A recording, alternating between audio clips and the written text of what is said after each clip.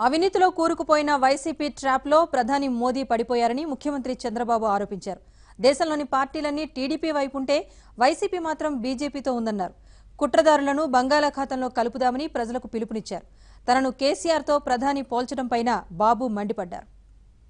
ప్రధానమంత్రి మాట్లాడుతూ చాలా దారుణంగా మాట్లాడాడు.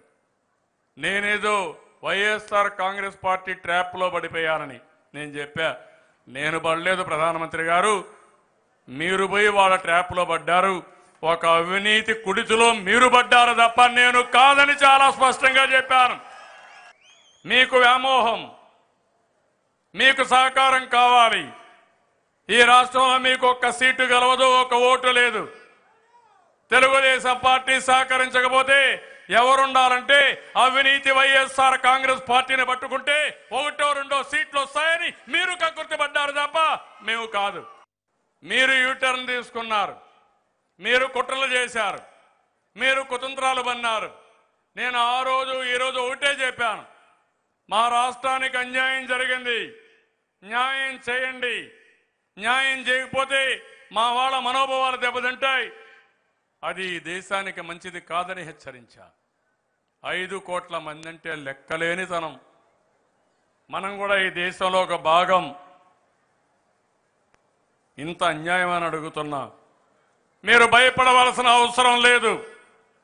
ఈ ప్రభుత్వాన్ని ఎట్టి పరిస్థితిలో ఇంకా గట్టిగా పోరాడతాం. దేశమంతా మనతో ఉంది. బీజేపీ తప్ప అన్ని పార్టీలు మనతో ఉన్నాయి. బీజేపీతో కలిసి ఉండేది ఒక్క వైఎస్ఆర్ కాంగ్రెస్ పార్టీ తప్ప వేరే వాళ్ళు లేరు. భయం అవసరం లేని చెప్పి కూడా నేను మీకు తెలియజేస్తున్నా. ప్రతిరోజు ఢిల్లీలో ఉంటాం. గజగజలాడిస్తాం. వదిలిపెట్టాం. దేశంలో అందరినీ కలుపుతాం. పార్లమెంట్లో పోరాడతాం. అడుగడుగున పోరాడి తెలుగు జాతి సత్తా ఏంటో నిరూపిస్తాం తప్ప వెనుదిరిగి ఎన్నెముక చూపించే పరిస్థితే లేదు. పోరాటం మామూలు పోరాటం కాదు. భారతదేశ ప్రభుత్వం ఎవరైతే నరేంద్ర మోడీ గారు మనకు అన్యాయం చేస్తున్నారో ఆ అన్యాయం పైన పోరాటం. అందుకని మనం ఐకమత్యంగా ఉంటే తప్ప సాధ్యం కాదు.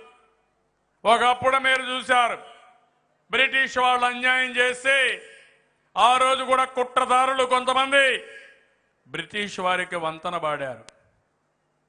వాళ్ళకు సహకరించారు. ఉద్యమాన్ని నీరుగార్చారు. ఈ రోజు కూడా అలాంటివే జరుగుతున్నాయి. అందుకే నేను మిమ్మల్ని కోరేది అలాంటి జరగడానికి వీలు లేదు. తెలుగు జాతి ఒకటిగా ఉంటాం. కుట్రదారుల్ని చిత్తు చిత్తుగా బుద్ధి చెప్తాం. అవసరమైతే బంగాళాఖాతంలో కలుపుతామని తెలంగాణ ముఖ్యమంత్రి నాలో కంపేర్ చేస్తూ నాకు మెచ్యూరిటీ లేదని. ఈయన కంటే ముందేనే ముఖ్యమంత్రి అయ్యా. మర్చిపోయాడు.